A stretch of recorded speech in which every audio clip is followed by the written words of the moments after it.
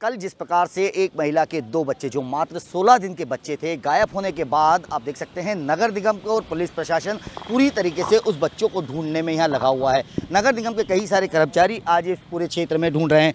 हम बात कर ले चूना भट्टी से लेकर हबीबगंज थाने के बीच तक, जहाँ पे इस दो बच्चों के कपड़े जहाँ मिले थे, वहाँ तक के बीच में ढूँढने के लेकर ये कार्रवाई चल रही है। नगर निगम के कर्मचारी, आप देख सकते हैं, एक एक झाड़, एक एक नाले और एक एक पेड़ के नीचे उन बच्चों को तलाशने की कोशिश कर रहे हैं। नगर निगम के कर्मचारी हैं उन्हीं से बात कर लेते हैं। भाई साहब क्या नाम है आपका? Ram Ratan Lohia H O zone nine से हूँ मैं। ये सब क्या है? ये काहे की सर्चिंग चल रही है?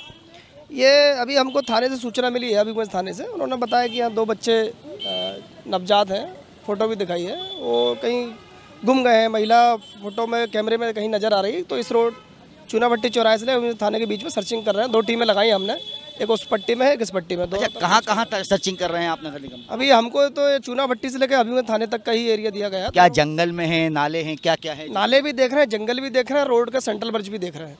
अगर देखा जाए तो नगर निगम के कर्मचारियों का साफ़ कहना है कि कहीं ना कहीं बच्चे घूमना एक बड़ी बात हो रही है और उनकी सर्चिंग को लेकर नगर निगम के जो कर्मचारी है नाले और झाड़ियाँ तक छान रहे हैं। देखना होगा पुलिस की कार्रवाई या सर्चिंग कब तक चलती है। कैमरा पर्सन रोहित के साथ संजय डोंगर दिव्या भोपाल। मध्य प्रदेश की हर छोटी बड़ी खबर से अपडेट रहने के लिए सब्सक्राइब कीजिए एमपी स्वराज